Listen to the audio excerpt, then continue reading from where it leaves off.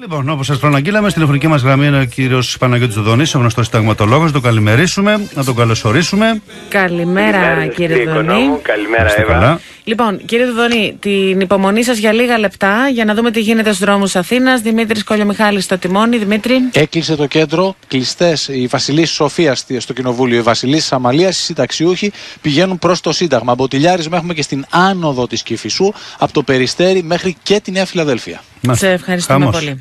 Να πούμε και καλοτάξιδο το βιβλίο σας, κύριε Δοδονή, Το Πολίτευμα της Συνύπαρξης για την αντιπροσωπευτική μας δημοκρατία. Παρουσιάζεται απόψε το βραδάκι στις 7 η ώρα στο θέατρο Αλίκη με την κυρία Αντωνοπούλου, η οποία θα συντονίζει. Θα μιλήσει ο Βαγγέλης Βενιζέλος, ο Χρήστο Χομενίδη και η αντιπρίτανση κυρία Φουντεδάκη από το Πάντιο. Καλοτάξιδο λοιπόν και να είστε πάντα καλά. Να γράφετε ωραία βιβλία. Ο Χατούλη, ο ζωγράφος που έχει και, την, και τις εικόνες του βιβλιου αλλά και το επίμετρο της συζήτησης για τη δημοκρατία και την ε, τέχνη. Πολύ ωραία. Και πολύ επίκαιρο τώρα, κύριε Δουδονή, το, το βιβλίο σας. Πάντα είναι φυσικά τα ζητήματα δημοκρατίας επίκαιρα.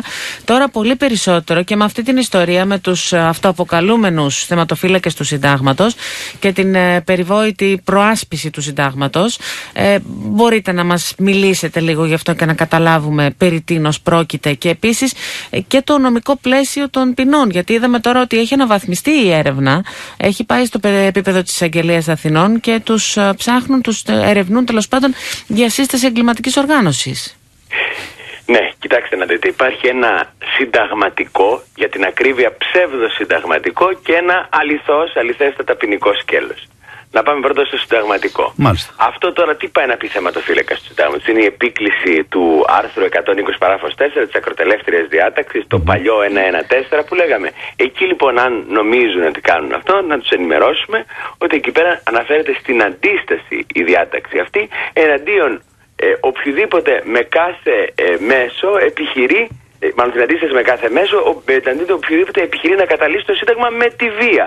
Άρα έχει να κάνει με τη βία η κατάλυση του Συντάγματος. Σε μια δημοκρατία, σε μια συνταγματική δημοκρατία, όποιος πιστεύει ότι έχει παραβιαστεί το Σύνταγμα, πηγαίνει στα δικαστήρια που κάνουν τον λεγόμενο έλεγχο συνταγματικότητας των νόμων. Το δικαίωμα της αντίστασης είναι όταν επιχειρείται να καταλυθεί, όχι να παραβιαστεί, να καταλυθεί δηλαδή πλήρως το Σύνταγμα με τη βία. Άρα πρόκειται για μια, ε, ας το πούμε έτσι, ε, εκδήλωση ακραίου εξτρεμιστικού συνταγματικού ε, λαϊκισμού η οποία έρχεται βέβαια σε συνέχεια άλλων ναι. προηγούμενων. Η οποία όμως κύριε Δοδονή έχει ε, στοιχεία οργάνωσης ανά την Ελλάδα. Δηλαδή δεν είναι απλά μια παρέα στην Αθήνα ή στη Θεσσαλονίκη ή σε μια τυχαία πόλη τέλος πάντων μόνο και τελείωσε. Έχει και στοιχεία οργάνωσης αυτή η κατάσταση. Έτσι είναι κυρία Αντωνοπούλη και πάμε τώρα Και αυτό είναι για μένα το ανησυχητικό. Το ποινικό σκέλος. Λοιπόν, τι συμβαίνει στο ποινικό δίκαιο; Έχουμε καταρχάς επιμέρους ενέργειες, έτσι εδώ ας πούμε ε,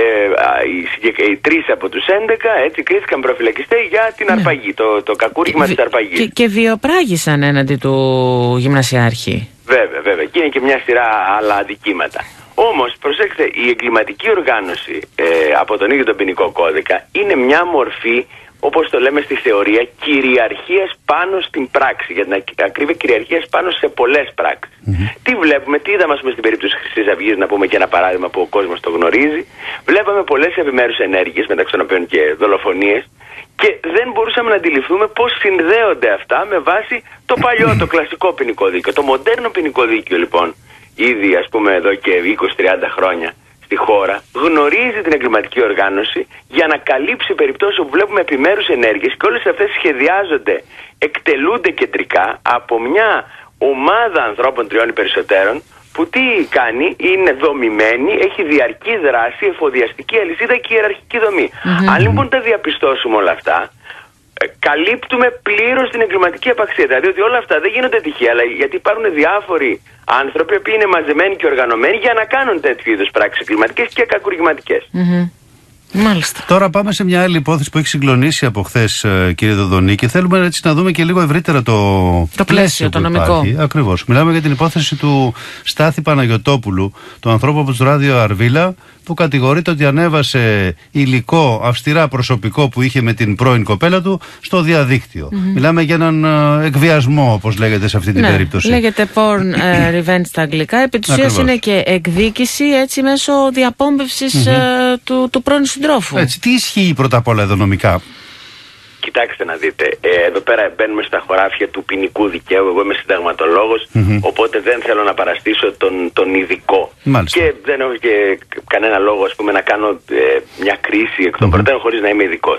Όμως θα σας πω μια παρατήρηση, ε, αν θέλετε, ε, εντάξει, και, και εγώ από την γνώση μου της, ε, της ε, πραγματικότητας, αλλά και των κοινωνικών σχέσεων. Αυτά είναι πράγματα απαράδεκτα.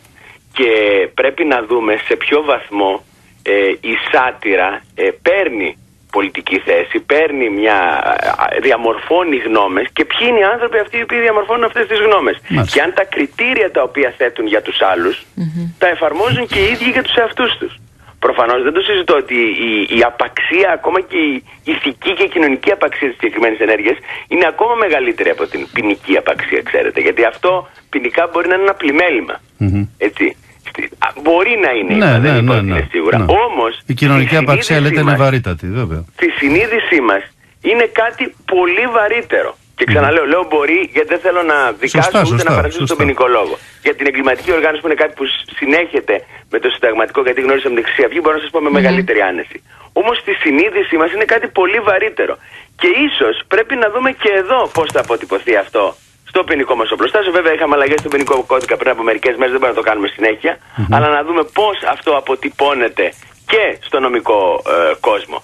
Αλλά κοινωνικά, ηθικά, αυτό είναι απαράδεκτο και βέβαια πρέπει να δούμε ποιοι κρίνουν τους κρίνοντες. Έτσι δεν είναι, Σωστά, γιατί σωστά, σωστά. έχουμε ένα μέτρο ηθικής το οποίο εφαρμόζεται σε όλους τους άλλους, εκτός από Μάλιστα. αυτούς οι οποίοι υποτίθεται ότι σατυρίζουν, αλλά στην πραγματικότητα ε, διαμορφώνουν πολιτική. Κύριε Δοδονή, σας ευχαριστούμε, Ευχαριστούμε, κύριε πάρα Δοδονή. πολύ. Εμείς θα Είστε τα καλά. πούμε.